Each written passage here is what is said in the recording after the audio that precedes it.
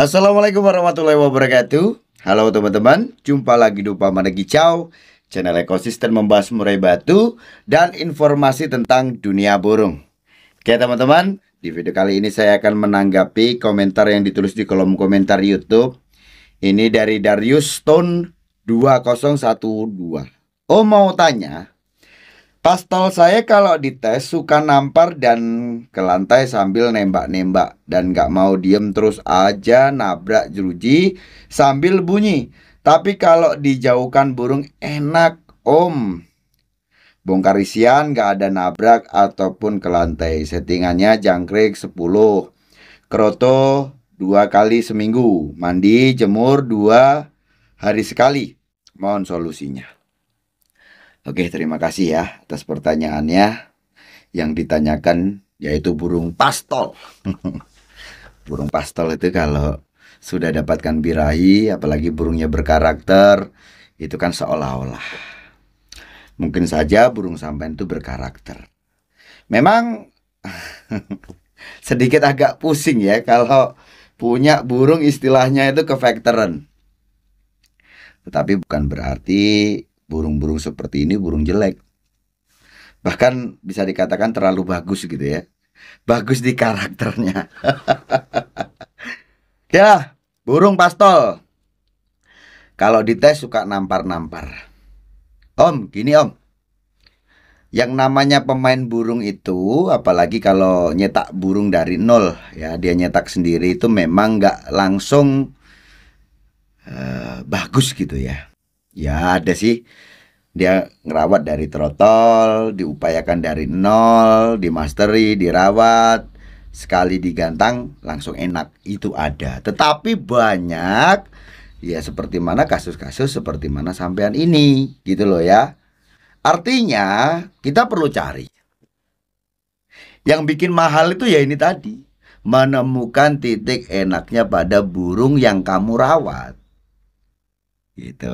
Nah, ngomong-ngomong soal pastol ini, tadi kan saya katakan pastol itu seolah-olah jadi lagi apa ya istilahnya lagi berangasan gitu loh. Apa itu bahasa Indonesianya tuh ya? Sewaktu dia dapatkan birahi, apalagi burungnya berkarakter, ketemu burung, dia tuh seolah-olah kayak mau makan-makan tuh burungnya. Musuhnya itu kayak mau, wah, pokoknya aku nih paling hebat. Menurut burungmu seperti itu. Om, coba deh.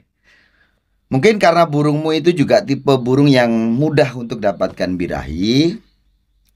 Coba untuk jangkriknya diatur aja. Jangan 10-10. Oke.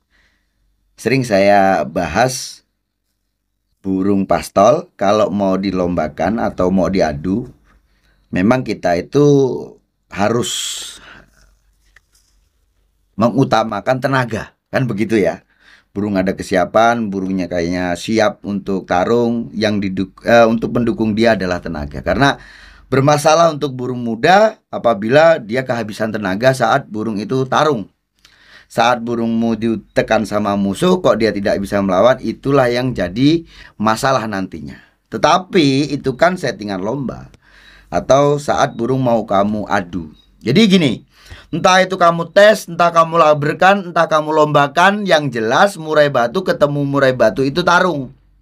Artinya, ini kan yang mengartikan, oh burung kalau dites itu musuhnya cek-cek, kalau di laber mungkin agak bagus, kalau di lapres, weh ini bagus, kalau di cup tuh lebih bagus lagi, lebih berat lagi. Itu kan kamu yang mengartikan. Tapi ingat, burung tetap burung itu tarung. Gitu loh ya. Artinya untuk masalah tenaga itu ya, kesiapan dan tenaga itu memang ya kamu harus uh, berikan ke burungmu sewaktu burungmu tarung. Intinya seperti itu. Entah itu mau lagberan, entah itu di tes aja, di uh, latih gitu ya atau dilombakan di cup. Itu. Itu kalau untuk burung yang diadu. Nah, sekarang kalau bicara tentang settingan harian, Ya jangan 10-10 kalau tahu burungnya seperti ini. Burungmu itu berkarakter dan kemungkinan besar burungmu itu uh, cukup mudah untuk mendapatkan birahi.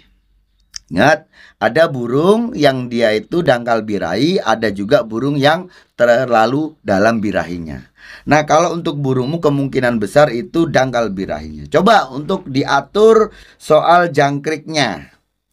Kalau burungmu seperti ini ya bunyi nabrak, bunyi nabrak gitu ya, wah, berangasan seperti itu, kepek nih tadi loh.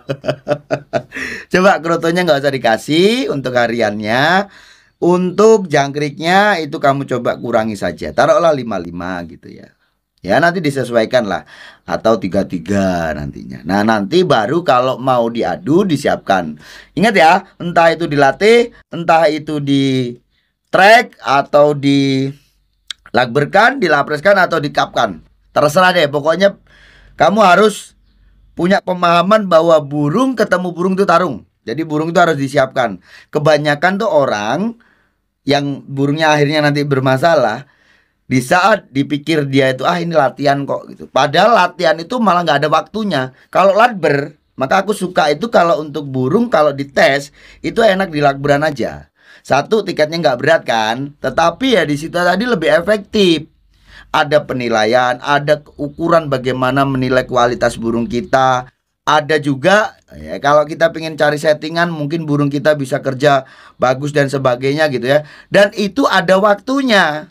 Anggap aja waktunya paling lama 10 menit nih sekarang nih. Ya jadi satu standar penilaian murai batu.